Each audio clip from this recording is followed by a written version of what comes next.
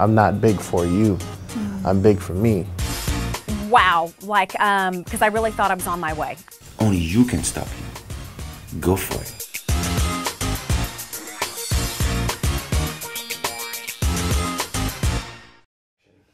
Hi, I'm Keri Murphy, and welcome to Inspired Living TV. You know, in America, we are so fortunate to have the freedom that we do the freedom of speech, the freedom of religion, the freedom to start a business whenever we feel like it.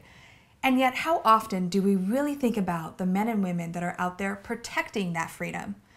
Well, in this new interview, I am going to be introducing you to someone who not only has given a lot for that freedom, but is now inspiring lives throughout the world. Today, I am so excited to introduce you to retired Staff Sergeant Joey Jones, who has an incredible story and message. Joey, thank you so much for taking time out. I know you're a very busy man right now, so thank you for spending a little time with me today. Well, yeah, you know, it's a great year for boot campaign, and uh, because it's a great year for that, it's a good year for me. And uh, we're busy doing all kinds of things, but so honored that you would come and hang out with us today and um, allow me to share a little bit of our story. Yeah, so so you actually entered the Marine Corps right after high school. Yeah, you know, I graduated high school when I was 17, a little bit early, and I spent that first year after high school trying to decide if college was the thing for me or if a job was. And, Sure. uh, you know, a young 17, 18 year old is looking at a new vehicle or trying to get out of mom and dad's house and all those things that really don't matter. So, But they do uh, at the time, though. yeah, Those are big yeah. decisions. they uh, wow you know it was like i got to get out of this house and those things and so finally i had a friend say hey man we should join the marine corps and i thought there's no way i would never make it and then one day i woke up and realized hey because i think i would never make it that's a good that's a good reason to go try it out. So i joined the marine corps and a few weeks later i was on my way to boot camp. And the funny thing is he actually didn't go to the marine corps so he talked me into it and and then did end up going with you. yeah you know he found his way out of it. I love that you said that though, Joey, because I think so many people, regardless of where you're at in your life, there's so many things that scare us that think, oh my gosh, I couldn't do that. I couldn't make that. I can't Yeah. start a business or go into the Marine Corps or anything, you know. And you said, you know, because of that, I'm gonna, I'm gonna do it anyway. Yeah, you know, I mean, what makes people tick, who knows? But uh, there are some things about people that are pretty similar and unique and just amazing. You know, human beings are amazing. And one of them is fear. You know, fear is a powerful tool. The fact I was afraid to go to boot camp uh, mean, meant that when I did go, my uh, senses were acute and heightened. And, you know, that little bit of fear there kept me on point and made me incredibly successful as a Marine. Yeah. Um, every time I thought I couldn't do something, but I had to do it anyway, um, I felt like I got a little bit better at it. And uh, just, you know, life isn't easy, so you got to tackle it with some positivity. For sure. That's such a great message. I absolutely love that. And I think so many people can relate to that, Joey. Um, so you were in the Marine Corps for, for eight years. And tell me what happened on August 6, 2010.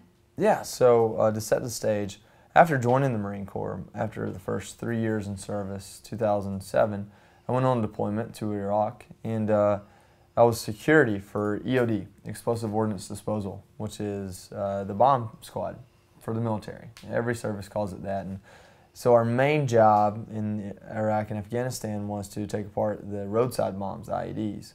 Well, uh, in 2007, I went there. I was security for those guys. Got to see what they did, and I'm like, wow, these guys are so incredible. They're smart, and they have cool toys, and they're really brave, and they save the day for everyone. So I came back and went to school for that. And in 2010, I deployed to Afghanistan as a bomb tech and EOD tech. Um, we were there for, well, from May through August, um, rendering safe about 70 IEDs in that deployment. Um, it was unfortunate that year, 2009, 10, 11, and 12, were some of the deadliest years for our job field across the board. Yeah. And uh, so we started losing brothers, and, and the cards started getting shuffled. And finally, I found myself in a place called Safar Bazaar. And um, on August 6, 2010, we had been there for five days trying to take all the bad things and bad people out of this town. And um, after 38 IEDs in five days, I stepped on an IED the sixth morning. And, um, you know, the, the common misconception is that it knocks you out, but if you don't get hit in the head with something, it doesn't. Right. So I was awake the whole time, and Oh. um, but uh, you know, in hindsight, I'm glad I was because uh, that's an experience that I think through in a positive way all the time, and look at how I reacted and uh, learn from it, and, and remember something new almost every day. And uh, you know, when I made it back home, I had that to look back to and be thankful because had it knocked me out right away, I may have never realized just how close I was to passing away or just how precious those moments were and, Yeah. and how amazing it was those Marines did what they did to keep me alive. Really amazing story. So through that, Joey, obviously, you know, you lost your legs and you had some other injuries. But Mm-hmm. you know, I think for so many people, you know, we can't maybe understand that traumatic of an experience, but yet we all go through traumas in our life. And you're sitting here and you're so handsome and well put together and so positive. But let's just be real here. There were times I'm sure that you were like, what the heck? Like, or that this was yeah, really of course. hard. Um, so one thing, you know, people that serve or have been injured in any at all in past generations or even these wars, they'll come up to me and they'll shake my hand and they'll thank me for my service, and I'll thank them back right away. Genuinely thank them back, and they'll go, "Oh, well, you know, I didn't do anything you did." And I think what I try to explain to people is the exceptional thing about serving is when you raise your right hand and volunteer. Most everything after that is circumstantial. In other words, you know, the injury or the experience is relative. Um, the worst thing that's happened to me is equal to the worst thing that's happened to you because that's what we have to judge against, or, or that's the experiences we have. So for me, um, when I lost my legs, uh, just like someone that's suffering from cancer or other things that can be perceived as tragic and go out and run marathons and things, um, I knew I had to get, get past it, recover as best I could because I had a little boy I had to take care of. I had a family that well, I was still responsible for. So every day for five minutes a day, I would kick everyone out of my room. I would scream and throw stuff and just cuss God, the devil, and everything in between. Um, and then at the end of that five minutes, my alarm would go off. I'd collect myself back together and I'd carry on my day, and and in an annoyingly positive manner. But um, you know, it got me through it. That's what got me through it, and I'm sure other people have other ways. And You know what, Joey, I love about that is that you allowed yourself to feel whatever was truly authentic and whatever was coming up. Like that five minutes, I think, f- f- like you said, and I love that you said too, like your trauma isn't different than someone else's trauma. It's just we all deal with it or we don't, or we don't deal with it. So the fact that you were like, everyone out for five minutes, I'm going to cuss and scream Yeah. and shout, and then I'm going to move on. But I think, did that allow you to actually like heal from that experience a little bit or, or give you that, that outlet to be no positive? Yeah, you know, um, like you said, you, yours, you know, life is a series of choices. Things happen. Maybe you control them, maybe you don't. But you always have to decide how you're going to respond to them. And you know, for us, especially most people, and especially those that are stubborn, um, you may choose not to deal with something because you don't feel like you can let it affect you. And when you do, uh, it just comes back. You know, it's just like a wave. It goes out and it comes back in. If you choose not to deal with something that heavy, that big of a deal, it's going to come back to bite you through personal relationships or your own uh, positive mental attitude. And so when I had that son, you know, that was the big defining factor was I had a child that needed a smart, or at least smart as I could be, on point, ready to take on the world dad. Yeah. And so the choice to deal with it and get over it was a choice that, you know, was greatly perpetuated by him, more so than my own selfishness or own need to be over it. Um, so I guess you can say you kind of saved my life in that respect. You know, Joey, you talk about the power of service, and part of what I do through Inspired Living and my team does is, you know, everything that we do is about serving others and really helping them use their gifts to the best and highest use possible. I was not aware that there is over 1.3 million active military, like active military mm-hmm. personnel right now. And do you feel like, um, like we honor them, like that we really appreciate the work that they do because it is volunteer, it is all service, and I think from at least I'll speak on my own, it's easy to forget that there's you know over a million people out there every day that are fighting for us. Well, you know, it's it's a twofold uh, concept. So, in one hand, there's a lot of people serving. In the other hand, there are there's a tremendous amount more people who aren't. You know, 300 million Americans. Yeah. Only 1.4 million are serving at any given time.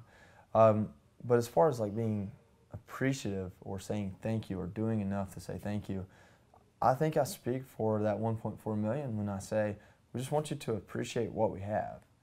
And we joined a service to defend this great country, not because of the amount of money we have or the strength of our military, but because of the type of people we are and the type of life that we want to create for each other. And somewhere along the way, a lot of people have died and fought to keep it that way.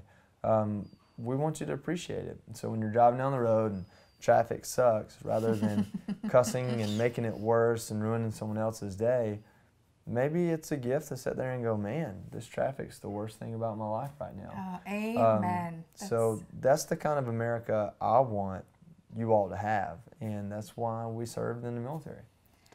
So talking about like really spreading the awareness, tell me about the boot campaign. Well, the boot campaign is a really simple but incredibly effective idea. Five ladies in Texas uh, with no direct affiliation to the military, no family member, um, no direct family member, husband, or themselves in the military, read the book Lone Survivor uh, by Marcus Luttrell, and it's his account of losing his three teammates and being held captive by the Taliban and finally coming back home. Uh, there was a Mark, Mark Wahlberg movie about it um, that most people know, and the story is just incredible. Well, these five ladies in Texas read the book and went, wow, you know, we appreciate this, but we're not doing near enough. We haven't shown true appreciation. So they came together. Uh, they got Joe Nichols, um, Kacey Musgraves, and some radio DJs, Big D and Bubba, to put on combat boots and do a photo shoot to show their thanks and to show that to Marcus. Well, that caught fire. Hmm. Uh, Governor Perry was the next, and then from there, a whole ton of celebrities. Now we're up to almost a thousand celebrities. Wow! Uh, from the top of the top to you know your everyday celebrity that's local, mm-hmm. and uh, they don a pair of combat boots. They do a boot shoot, uh, a photo shoot. We market that in social media, traditional media, campaigns, and events, all to get their fans and their friends to say, "Wow, you know, let me try this out." So the idea is that people who may not have any connection to the military will see someone they look up to, a singer, an actor, wearing combat boots, supporting the military, and think, hmm, let me try that out. Let, let me see what that's about. And then maybe their organic appreciation will grow. So the boot campaign is a military nonprofit. Our niche is to get civilians and celebrities in combat boots to show their support for the military. We do that by selling combat boots. Which we can see here. Yeah. And they are. They're like they're really cute boots. Well, they're made by the same companies, and they are the combat boots. Of course, I say cute boots, but they're actually cute, right? effective, functional. You know, yeah. uh, you know what? Yeah, you can call them cute. That's okay. They are cute. You know? um, I guess in uniform, they're rugged. Though, yeah, sure. Um, but no, you know, we, we, get people to wear these combat boots uh, to buy them. Any money we make over our cost comes into our general fund. We're 100% uh, charitable organization, so our general fund is used to fund our programs, which are urgent financial assistance, housing, um, you know, education, career transition, family support, Gold Star family support. Um, all those programs are specifically designed to do what government programs or other influential nonprofits just are overlooking or don't have time to do. Uh, so we call it filling the gap, and it's all uh, a hand up. None yeah. of it's a handout. And you know, you have these military and veteran families that have just gone through, you know, can I say so much? Yeah, you yeah. know. And so if this is that one little thing stopping them from that next great thing in life, then we want to be the ones that help them out through that. So if people watching, I mean, first of all, not only am I getting a pair, but I want to do a boot shoot. Yeah. Yeah, for Inspired Living. It'd be great. Absolutely. Yeah. We'd be honored. Um, how do people find out more and get their own pair? Because I'm thinking with the dress, it'd be really sexy, but they go yeah. with anything. They're neutral. Well, and that's the thing is if you wear a business suit every day or a dress every day, combat boots aren't your first choice. Mm-hmm. And that's the point. If you wear combat boots on Friday, people are going to ask you why you're wearing combat boots. And right. then you get the gift of telling them I support the military, and this is why. Uh, so if you want to get your boots on, go to bootcampaign.com. You can check us out on Facebook at Boot Campaign and Twitter and Instagram and other socials at Boot Campaign. All right, wonderful. And Joey, before we wrap up, I want to know what does inspired living mean to you? Well, you know, it's living with a purpose. Mm. And that's what I try to do. Uh, that's what I try to teach my son to do. And I think if you put a purpose behind what you do, you'll get a better quality of life out of it and most importantly, you're going to influence the people around you and be a shining light rather than, uh, you know, a cloudy day. Mm. And you are certainly that. Really, thank you so yes, much. Thank you. And thank you for watching this Inspired Living interview. If you want more inspiration, and I know you do, head over to inspiredliving.tv. And more importantly, we would love to hear from you. You know, what did you take away from this interview? And what little thing can you do Show your gratitude to those that are serving or just for your life right now. Please post your comments because when you are inspired, you inspire others. And as always, remember to keep dreaming it, living it, and being it. Until next time.